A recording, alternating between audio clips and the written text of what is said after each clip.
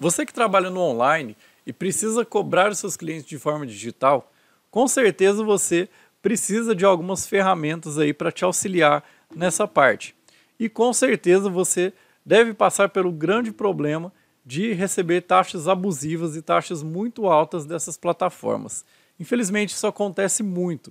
As, as plataformas hoje que cobram para você passar o cartão de crédito e receber o valor, eles cobram um valor muito alto e você acaba ficando no prejuízo, você acaba perdendo muito valor do seu serviço e o seu cliente também tem que pagar o seu serviço mais o valor da taxa que a ferramenta cobra aí para fazer essa transição entre vocês dois.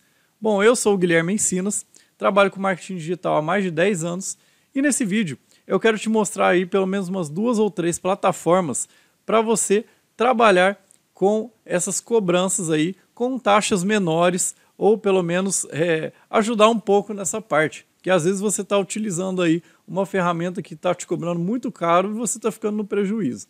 Então, eu vou te mostrar na minha tela aqui algumas ferramentas que eu já utilizei, que eu utilizo e que me ajuda bastante aqui no dia a dia. Bom, antes de te mostrar as plataformas, eu quero te dar uma dica aqui também para você conversar com o seu cliente.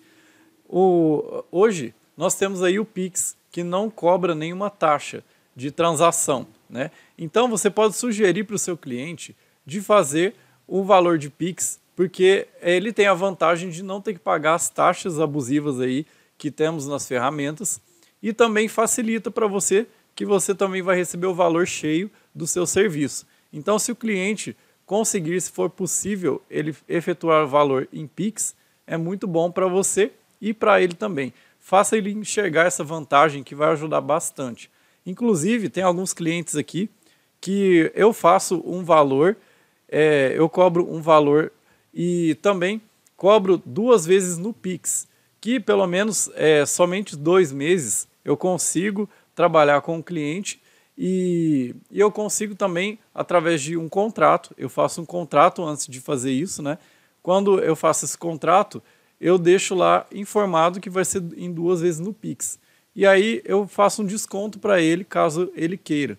E isso ajuda bastante aí também a evitar ter que ir para essas plataformas e ficar cobrando valores abusivos. Bom, então vamos lá. Eu vou começar com a primeira plataforma, que é o PagSeguro, que é o mais comum, é o mais conhecido e o que o pessoal costuma utilizar. Porém, o PagSeguro tem algumas taxas bem altas, tá? É, em referente a alguns outros que eu vou te mostrar aqui. Se você recebe, por exemplo, mil reais aí do seu cliente no PagSeguro, você tem a forma de pagamento aí, vamos supor que seja em cinco parcelas, tá? Você vai receber aí. Ah, na verdade aqui é venda com maquininha seria seria loja física, né? Então vamos colocar aqui vendas pela internet, que é um pouquinho mais alto, né? Então eu quero fazer em cinco parcelas mil reais para o meu cliente. Na hora eu não vou receber. Se eu quiser receber em 14 dias, eu vou receber R$ 865,90 dos mil reais que eu cobrei do cliente. E se eu quiser receber em 30 dias, eu vou receber R$ 875,90, 10 reais a mais, tá? Porém, a gente tem que vai receber somente daqui 30 dias e às vezes isso também prejudica um pouco. É, os valores aqui que eles informam, tá? É que é, à vista você, você tem uma taxa de 3,19% e parcelado 3,79%, tá? E o seu cliente ele também paga uma taxa e quanto mais ele parcela, mais taxa ele paga, tá? Só para informar. É, e você pode informar esse cliente também sobre isso.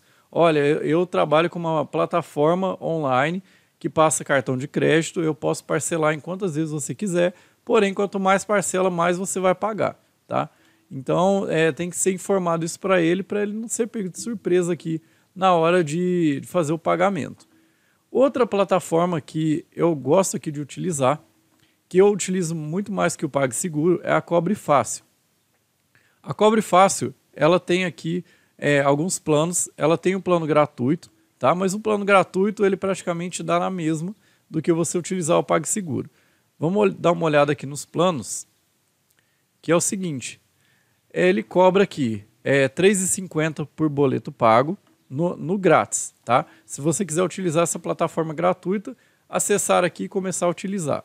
você vai ter que pagar R$ 3,50 por boleto, 3,99% no cartão de crédito, tá? E aqui é, você tem recebe uma parcela a cada 30 dias e não tem como você fazer cobrança em Pix, tá? E nem nota fiscal. Se você paga R$ 49,90 por mês, é aqui que está a vantagem. Se você paga aí por mês R$ 49,90, você vai receber, é, você vai pagar R$ 1,90 por boleto, tá? A taxa vai ser R$ 1,90 se você quiser emitir um boleto através da plataforma. Você tem aqui no cartão de crédito 1,97% mais 1,99% por parcela no cartão, tá? Então a, a, taxa a taxa deles é 1,97% e cada parcela que o cliente quiser colocar, se ele quiser em cinco parcelas, vai ser mais 1,99 por parcela no cartão de crédito.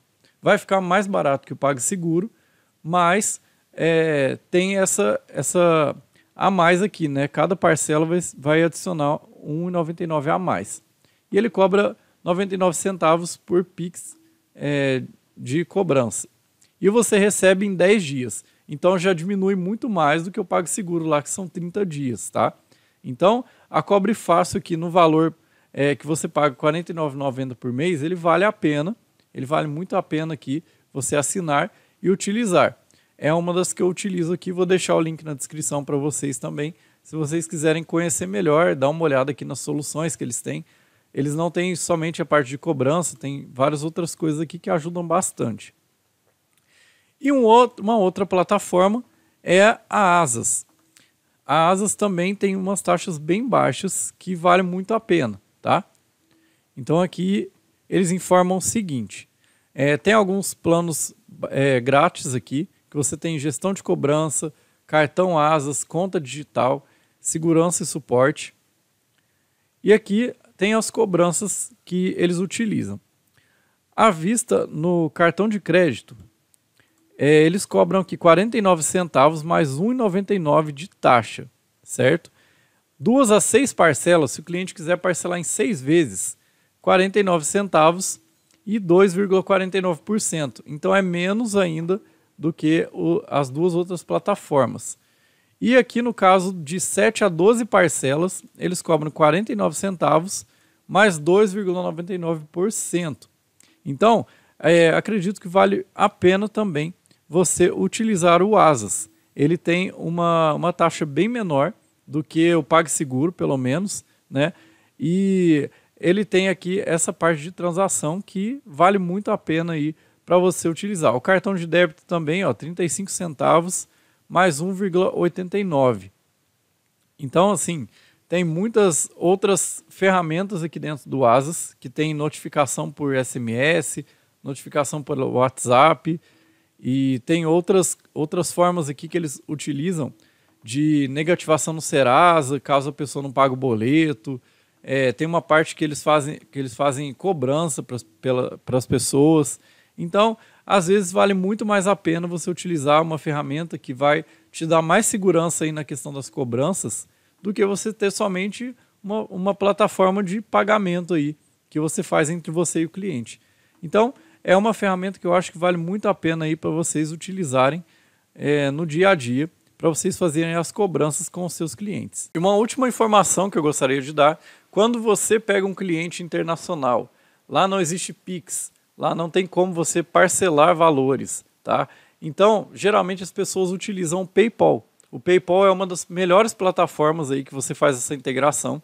Quando o cliente paga lá em dólar, em euro, você já recebe em real diretamente na conta. Então não precisa de nenhum outra, nenhuma outra plataforma para transferir o dinheiro em euro, transformar em real, que aí é mais taxa ainda, né? Então, é, aqui você tem a, a taxa aqui deles é 3,5 no recebimento de pagamentos em moeda diferente da sua moeda local e 4,5 no envio de um pagamento. Então eles cobram 3,5% quando você recebe aí de forma internacional.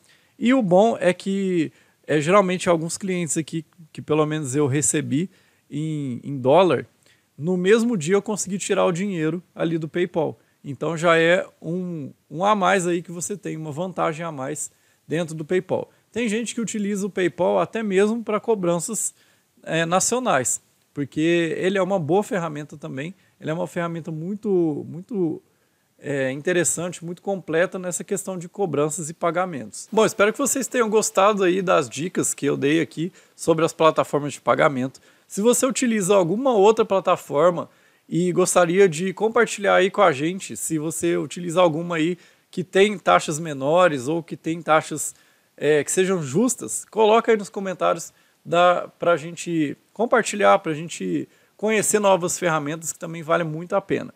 E se inscreva aí no meu canal se você quiser receber aí mais vídeos como esse, se você quiser receber alguns outros vídeos sobre plataformas, sobre ferramentas. Eu sempre faço playlists, dá uma olhada lá também nas minhas playlists, que eu estou montando algumas playlists aí de ferramentas, aplicativos e várias outras coisas que te ajudam no dia a dia.